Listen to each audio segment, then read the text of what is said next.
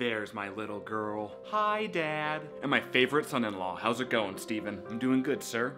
So what have you two been up to? Oh, well, I have just been raw dogging your daughter every night. Excuse me? Just straight up ejaculating in her vagina. How dare you say such foul things? Just leaving those hot loads in her. I'm so sorry, Dad. Honey. Just coming in that place. Steven! What? Phrasing. Oh, right, sorry. What I meant to say was, we're trying for a baby. Oh, yay, grandkids.